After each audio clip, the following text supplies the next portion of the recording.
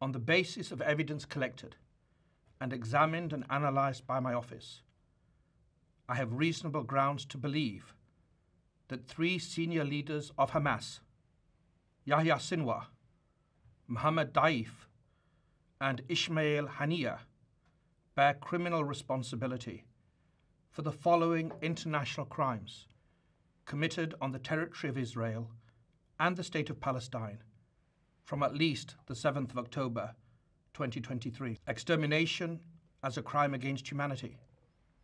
Murder as a crime against humanity and as a war crime. The taking of hostages as a war crime.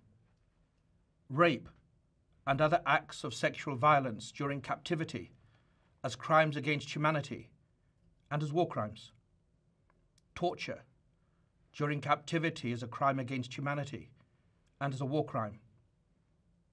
Other inhumane acts during captivity as a crime against humanity.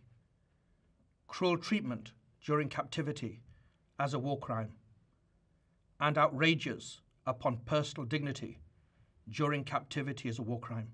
These crimes were committed in the context of the ongoing armed conflict detailed in the applications and as part of a widespread and systematic attack against the civilian population of Israel by Hamas and other armed groups. I can also confirm today that I have reasonable grounds to believe, on the basis of evidence collected and examined by my office, that Israeli Prime Minister Benjamin Netanyahu and Minister of Defense Yoav Gallant bear criminal responsibility for the following international crimes committed on the territory of the State of Palestine from at least the 8th of October 2023. That starvation has caused and continues to cause deaths, malnutrition, dehydration, and profound suffering among the population.